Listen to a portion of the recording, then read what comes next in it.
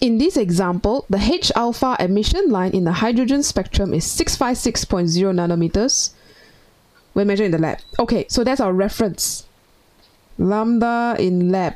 I just call it lambda lab. Reference ah. Is our reference wavelength. Everything that moves with reference to this 656. So we have three stars. Star A have this, star B, and star C. Which star is moving fastest relative to Earth? So we're trying to find who is the fastest in direction of motion. So for these stars, I am going to draw a graph so-called so we can see the shift. So let's put in the graph of wavelength. The reference is 656 nanometers. So that's gonna be right, uh, let's put it here in the middle. This is the expected lab frequency, 656. Star A is 656.6, it's a little bit longer. So I'm going to put that over here. 656.6. This is star what ah? A. Star, star B is 655.9. Ooh, shorter already. Okay, let's put it on the other side. Here. This diagram is not drawn to scale, FYI. This is star B. Wow, the decimals. Okay, I'm going to add the decimals so we can make it standardized. Okay, star C is 656.4. A little bit not as far, but okay, sure. Let's make it pink color. Yes, put it here. 656.4. This is star C. Alright, so you see that some, at some points, your wavelength becomes longer. These are the ones that are redshifted. Um, and on the other hand, there is one star where the wavelength becomes shorter, 655 only. This is going to be blue shifted, which means it's moving away. Okay, so we're going to find which one is faster. Sir. Why don't we make a table? So we have A, B, C. This is the star. And let's find the delta V. Uh, sorry, delta lambda. So the first star A, I'm just going to use blue for everything lah.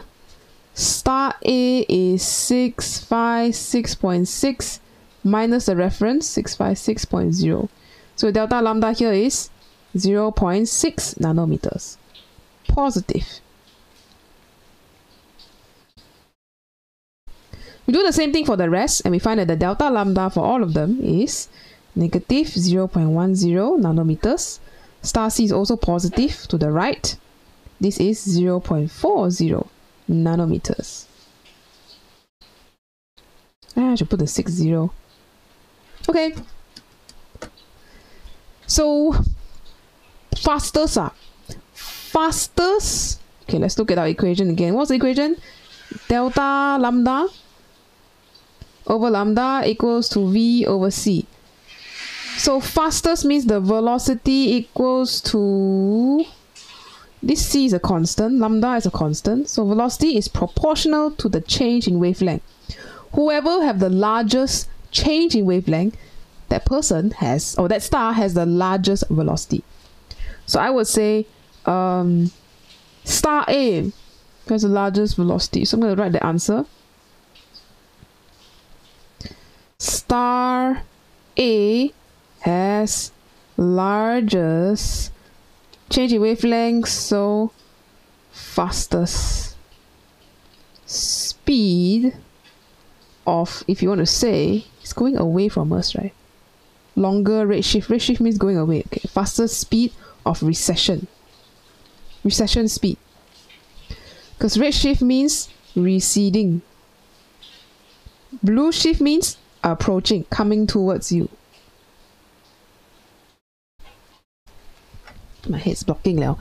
Okay, uh, B is what is the direction of motion for each of the stars? I think let's just expand this table a little bit. Zoop, zoop.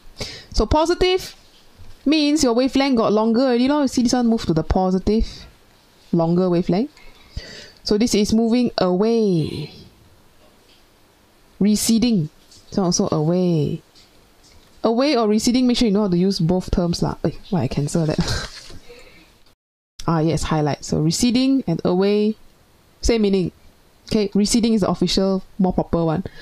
A star being your wavelength became shorter, so that's a blue shift. So that means the star is approaching or moving towards us in on Earth. Okay, so that's how you can gauge the different different uh, motion based on the shift in their wavelength compared to a reference wavelength. So all these are moving a certain speed with reference to the lab wavelength on Earth, stationary. Okay, so I think that's all for this example. See you in the next few ones.